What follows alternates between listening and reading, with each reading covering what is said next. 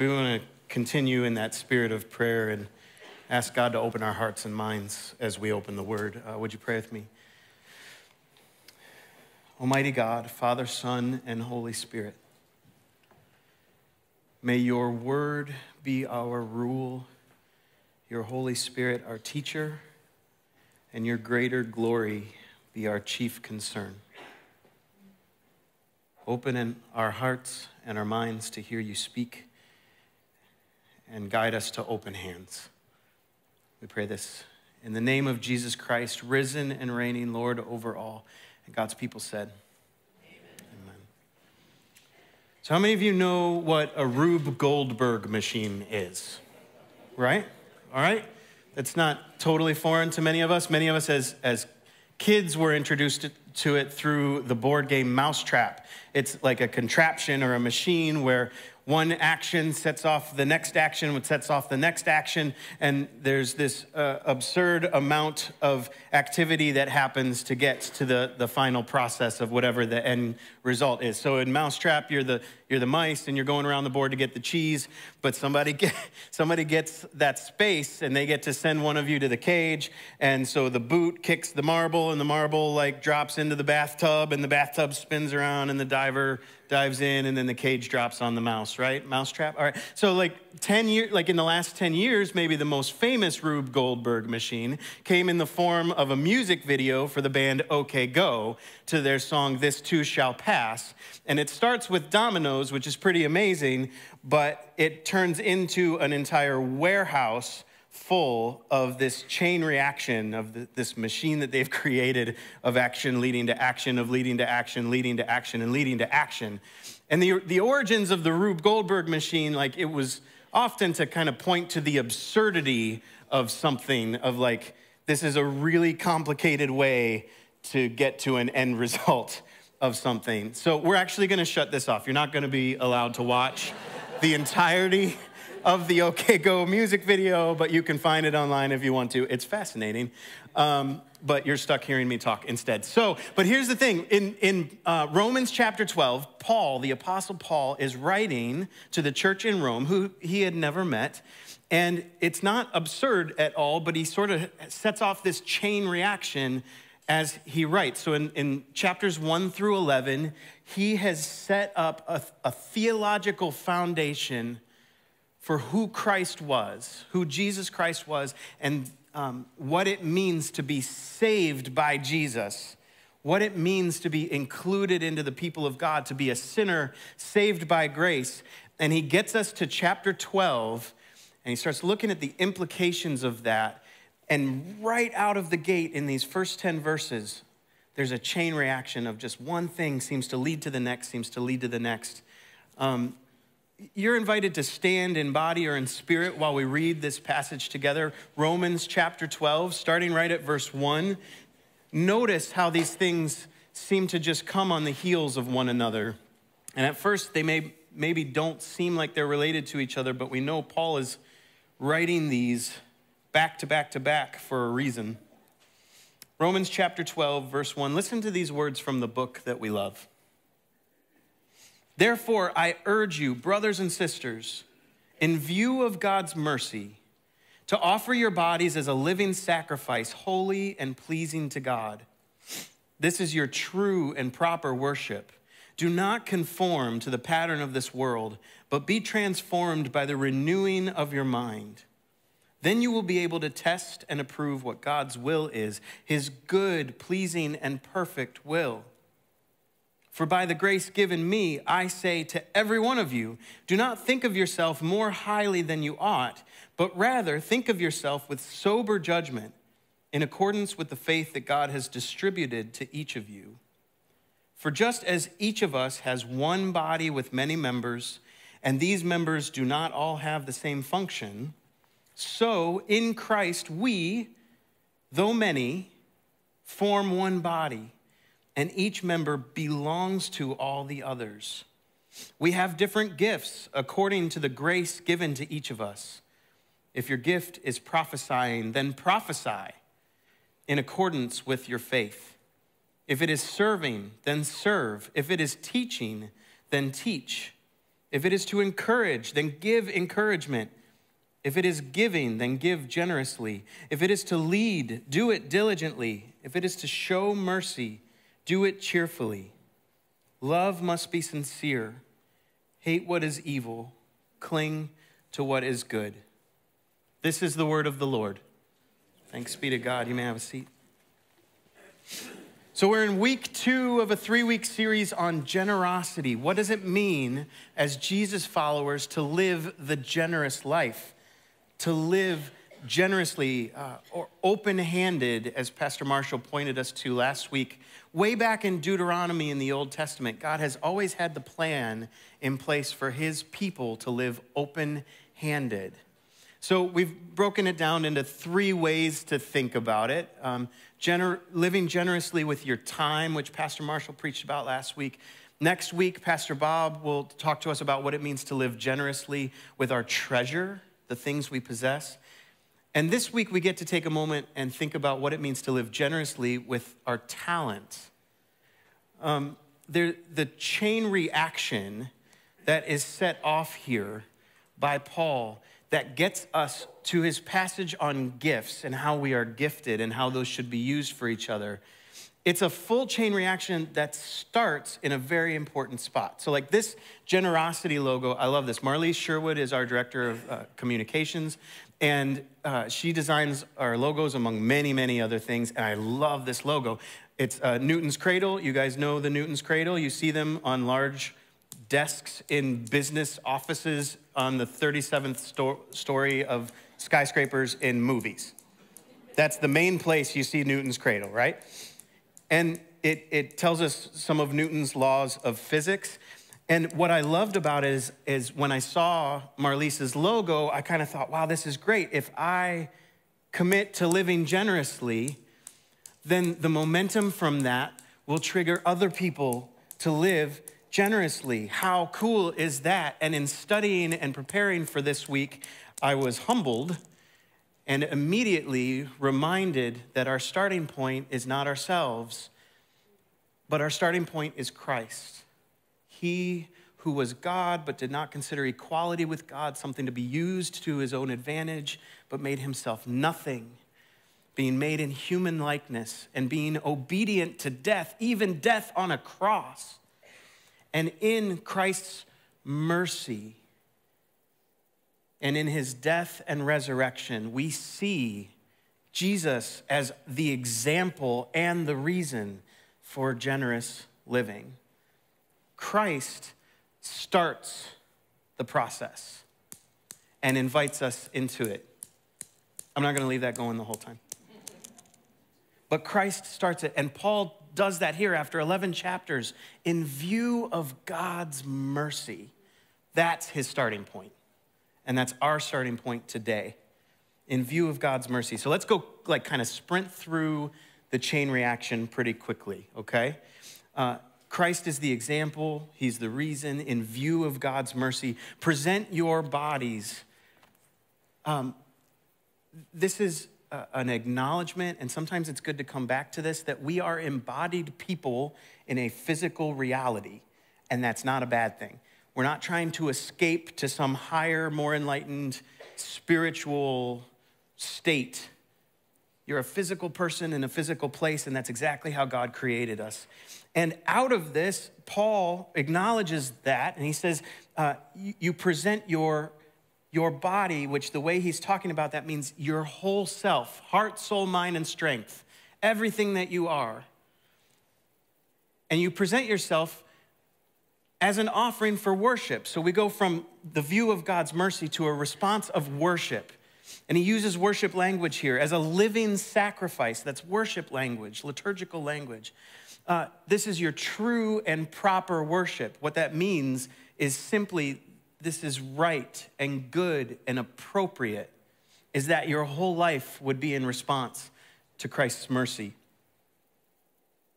And that would lead us to transformation. Be transformed by the renewing of your mind. Resist and push against the ways of the world that you're, you're being called to follow, but instead let the Word and the Holy Spirit transform the way you see reality, that your whole mind would be renewed.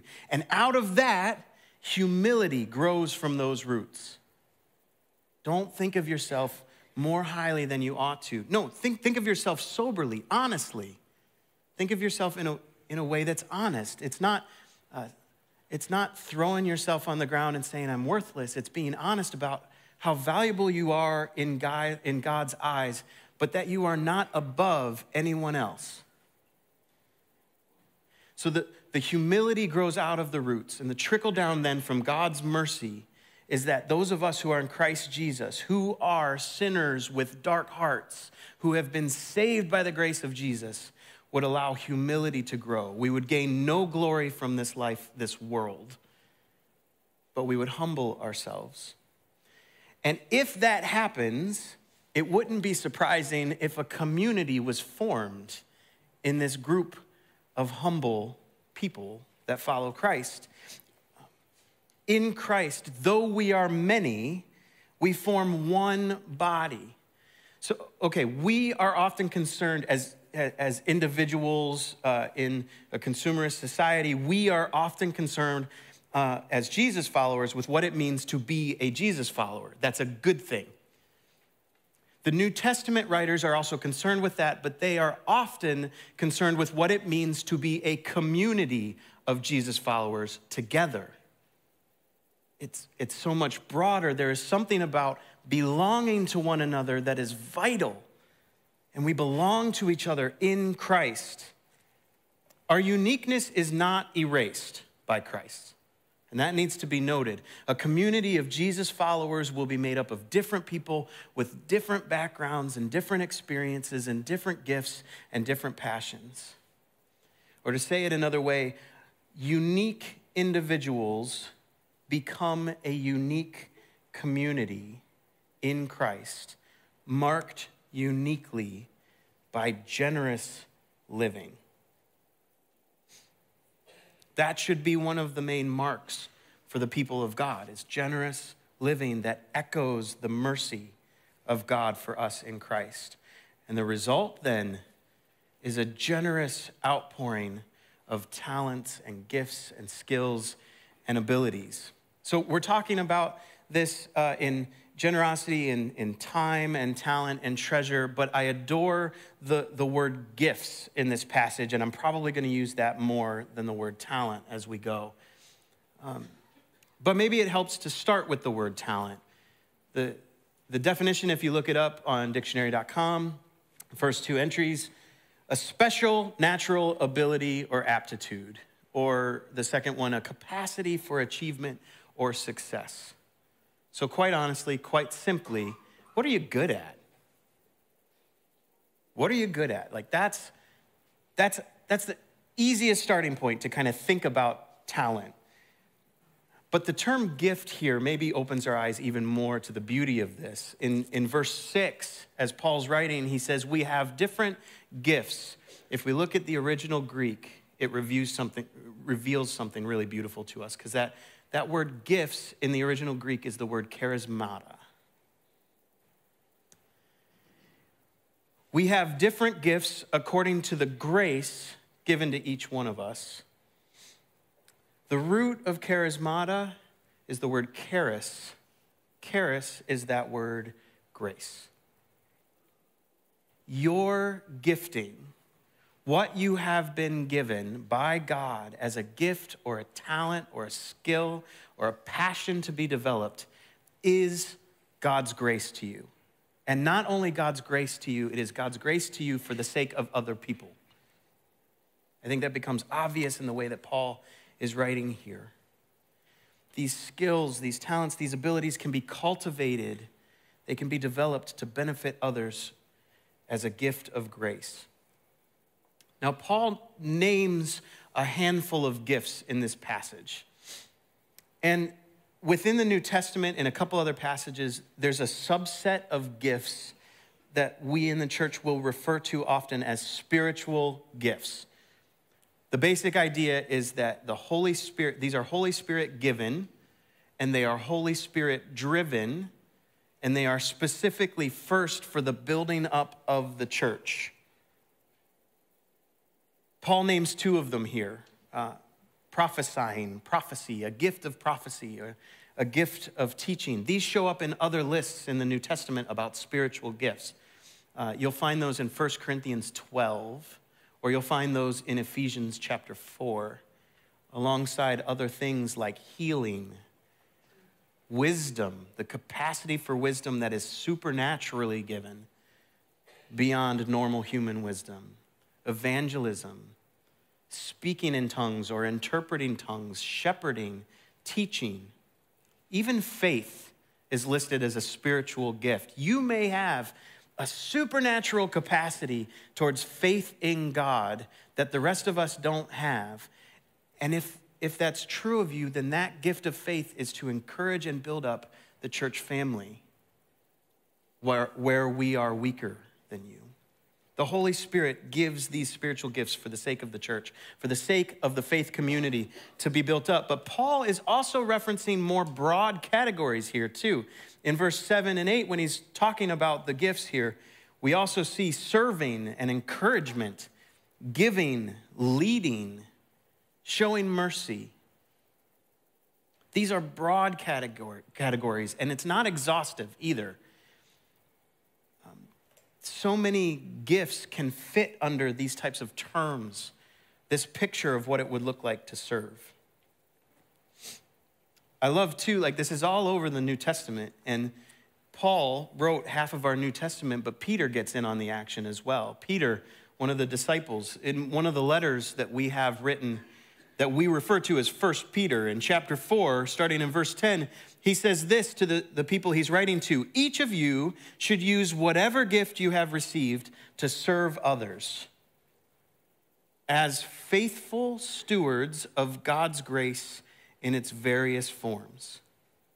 If anyone speaks, they should do so as one who speaks the very word of God. If anyone serves, they should do so with the strength that God provides, so that in all things God may be praised through Jesus Christ. To him be the, and I love this, he turns it into a statement of worship because he's so excited about it. To him be the glory and the power forever and ever. Amen. It's a prayer of worship at the end because he's so excited about the idea that everyone has a gift and God empowers that gift. And I want to go back to verse 10 because this, this is so profound to, to just pause and think about. Each of you should use whatever gift you have received to serve others there we go, as faithful stewards of God's grace in its various forms. God's grace to the world is given to us in various forms, and your gift is a form of God's grace to the world. Your gifting is God's grace to people. That should stagger us for a moment. You have something to cultivate, you have something in you to offer that is actually God's grace to other people. It's profound. So here's what both writers are assuming. Number one, God has given you gifts. Number two, you are to use those gifts to serve others. You are to use those gifts to bring flourishing. You have been gifted by God, and you're invited to cultivate those gifts and use them in whatever ways you're able. And God intersects with those opportunities to bring healing and health and wholeness in some small but miraculous ways. So we are invited to develop a faithful imagination for how we can use our gifts, to be creative with the gifts that God has given us. Creativity is just that imagine to see a new reality and work towards it on behalf of other people. Okay, so there's obviously different types of gifts.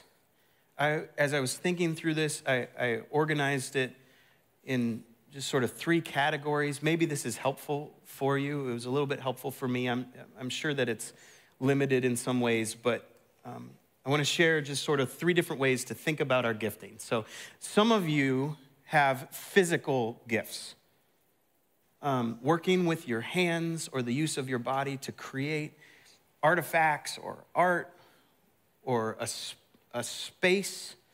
So, think it's, it's maybe obvious to point towards artists in, in this regard in some way, like um, visual arts or lively arts like drama or dance, but it, it's so much more broad than that. Um, craftsmanship, building, developing technology,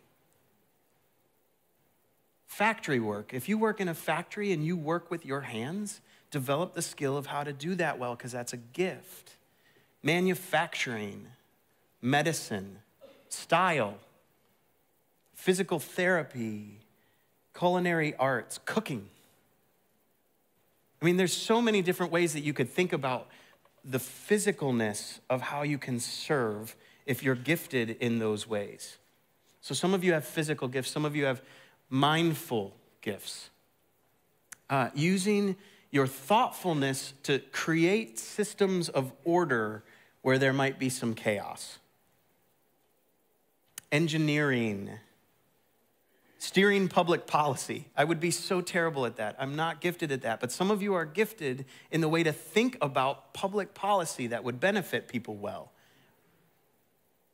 Um, education, business, planning, creating systems and structures, management, whether that's uh, management of people or something like financial management, poetry, prose, speech in various forms, giving generously. I think part of the transformation of our mind that Paul talks about leads to a mind that is, is bent towards giving generously. And some of you have a gift towards giving. Some of you have physical talents, some of you have mindful gifts, some of you have relational gifts. This is creating spaces of welcome or unity or movement forward together. So, um, counseling, coaching, parenting in its various forms, conflict management, maybe that's the same as parenting, hospitality. You can create a space of welcome and invitation when you work within hospitality. Caring for those at the end of life, mercy, serving, leadership, justice and reconciliation work, or simply listening. Some of you have a capacity to listen that the rest of us are losing in this day and age. And we desperately need you to use your gift well and to help steer us as someone who listens. Now, obviously, these types of gifts get combined in different ways, and we see them used in different ways, in different styles, uh, in collaboration often. Um, think I was thinking about like we have a lot of hairstylists that call Covenant Life church home and thinking about you as hairstylists. Like if you're good at styling hair, that's a physical gift that with your hands you can create something beautiful with someone's hair. I don't know that feeling. It happens though. I know you're out there. So, but so like if you can create well with with someone's hair to create style, you'll be a good hairstylist. But if you also can cultivate a gift and have a gift of hospitality, how much then does that chair become a place where someone feels safe and welcome? And I have a lot of friends that are hairstylists that will share about like people just end up feeling comfortable and sharing about their life, and it becomes a place where they walk away not just with a new hairstyle, but feeling cared for. It's a combination of gifts that's beautiful. Now, sometimes your gifting will have to do with your employment, your vocation, but not always. So eliminate that thought right now, because it doesn't have to do with that. Uh, we think often, for some reason, that if, if someone is going to be fulfilled, then they have to be using their gifts in an industry where their gift is needed. It's not true, though. And I hope this is an encouragement to many of you. Your work in a job that pays the bills, like maybe you work in a job that just pays the bills, but it isn't a place for you to thrive in your gifting, that's okay. That's okay. That's, that's not a bad thing. Do that job well with all of the integrity and all of the skill that you can muster. But also find another place where your gifting can come out, where you can find a place where your gifts can be offered to other people. And what helps with that is seeing our gifts as a way to serve that changes the total perspective for how we view our talents or our skills or our abilities. The world will always want to measure success in financial terms money, comfort, notoriety, influence. But if you see your gifting as a way to serve, you redefine success. So there's an artist, he's about my age, a little older than me. His name is Ned Bustard. He works out of Nashville. He's an artist and an author. Uh, he shared uh, through a video where his dad owned a small business, and when he was a kid, he asked his dad about money. Talk to me about money. Like, how do you work with money? His dad's response was Money is how we keep score, money is how you know you're successful. You're living life right based on your ledger. But as uh, Ned Bustard had grown as an artist and as an adult, he has seen a different way to think about success. As an artist now, he asks questions of himself to help figure out if he's successful. He asks, Are you doing what you're designed to do? Are you invested in a community and blessing that community? That is a different way to talk about success. And he creates visual works, he um, illustrates books, he's an author and he, he publishes books. But he also creates coloring pages for his church family's kids that connect with the sermon. And he sees that as a major part of understanding success for him as an artist. I think there's something we can learn from that.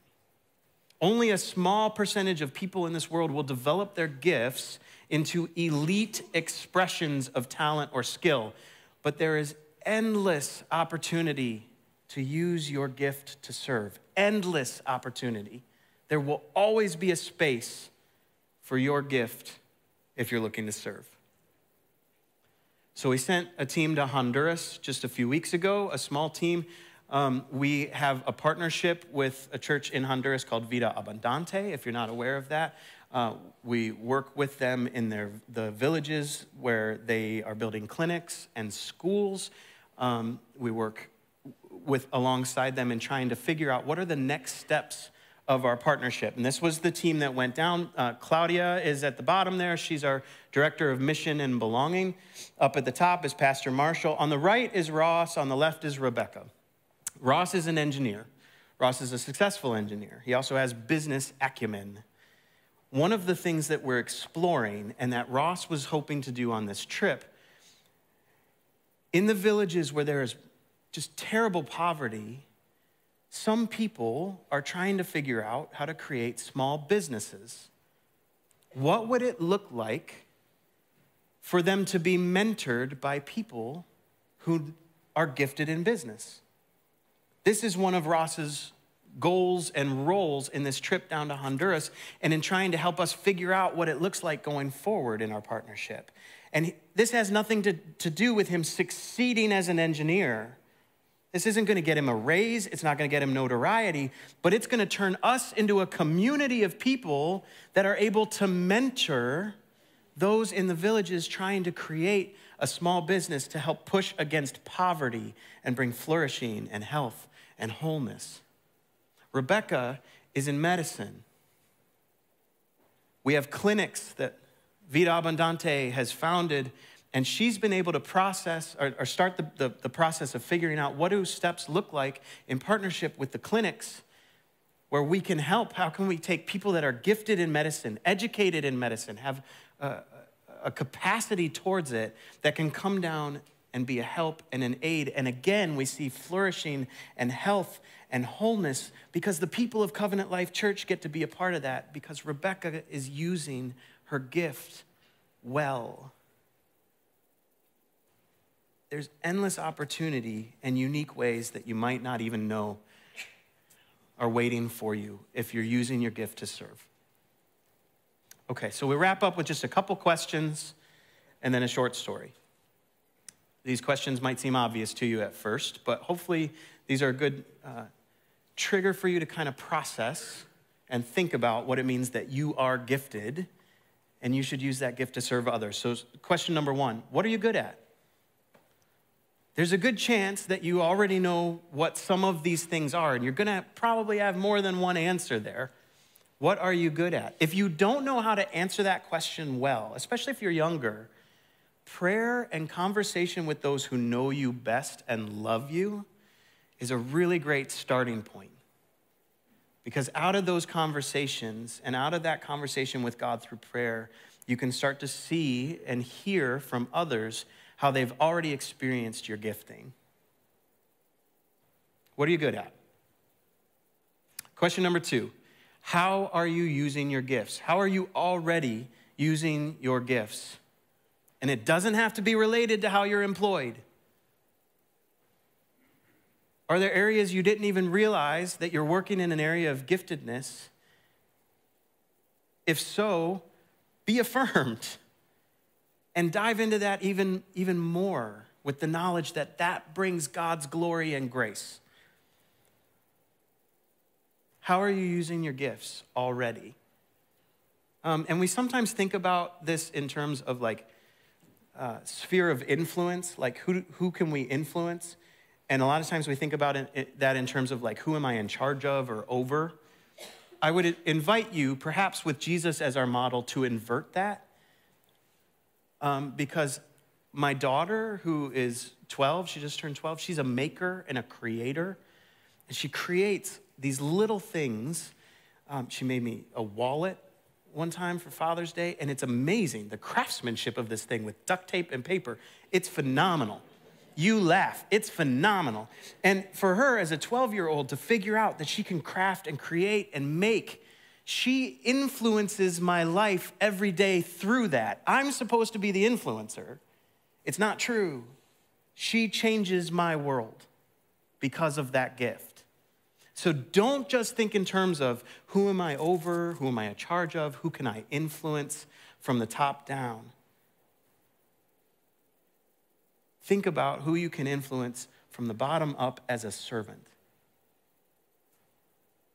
Question three How are you cultivating your gifts? This is different than using your gifts. This is growing your gifts, developing your gifts, your skills, your talents.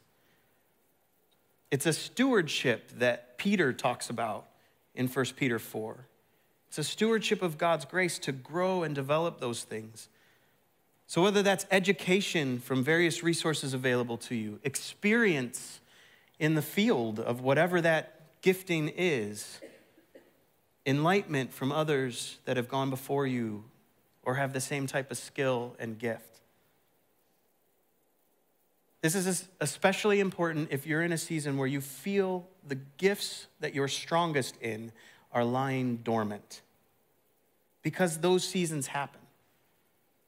What can you learn in this season about your gifting and how can you develop it and grow it?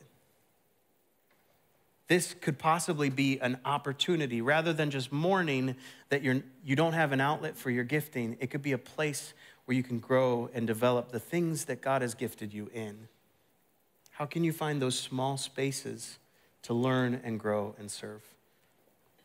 And the last, the last question, question four, and this one might seem a little um, surprising at first, but are you willing to let others serve you with their gifts?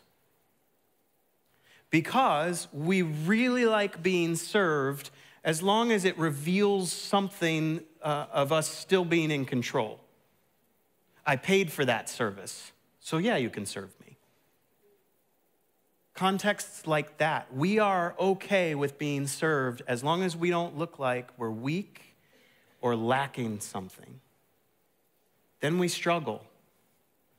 But the fact of the matter is, if the person sitting next to you is gifted in an area that you're not, then that person is called to serve you well with their gifting, and you get to be served.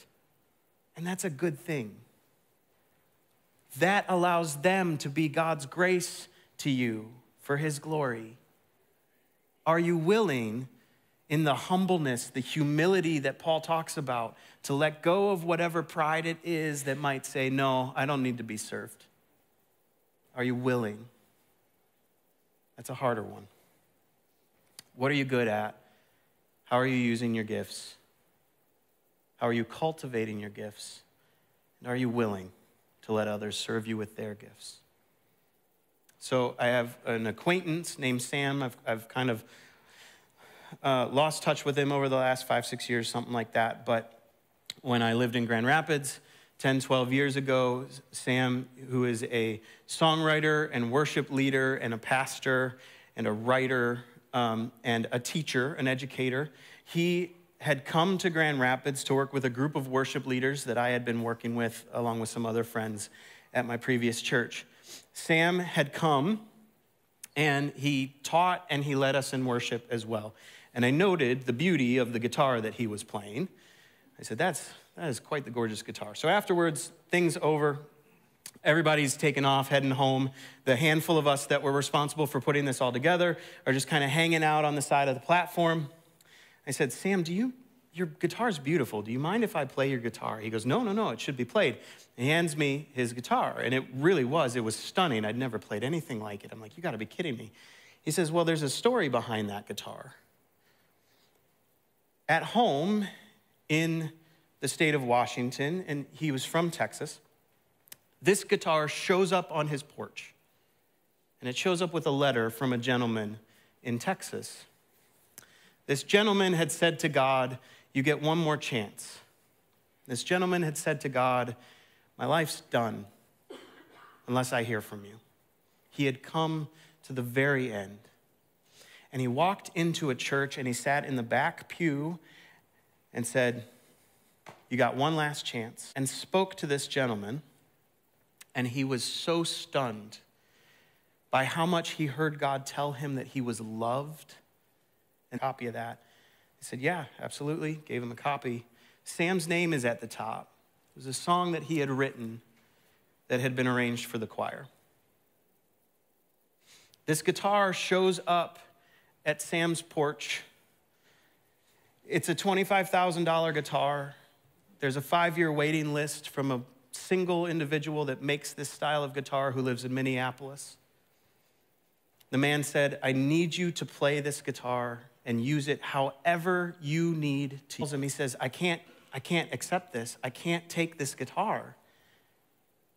His response is staggering. The gentleman says to him, Sam, you have the gift of writing songs.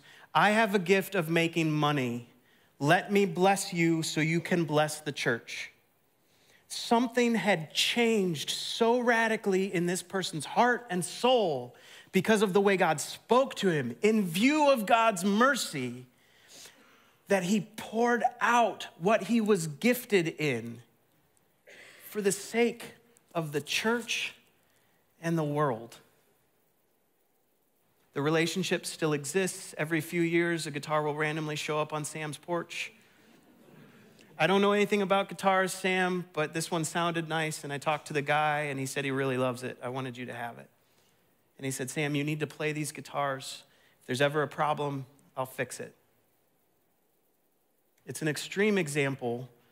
Many of us don't have that type of capacity, but maybe it can open your imagination a little bit.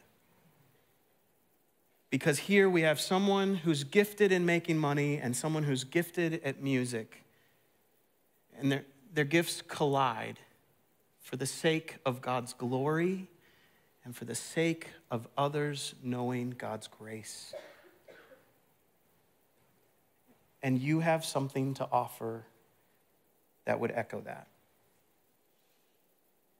Can we pray? We thank you for that, God, that we are known, that our hearts are open to you. We ask that you would speak in this moment in this afternoon, in this evening, and as we launch into the week, that you would speak to our open hearts and open minds to remind us of your mercy first, but then the goodness of your grace in giving us gifts that we could use to bless the church family and the world. Speak and lead us towards that end, God, that we would live open handed humbly and eager to share the mercy that we know in Jesus Christ.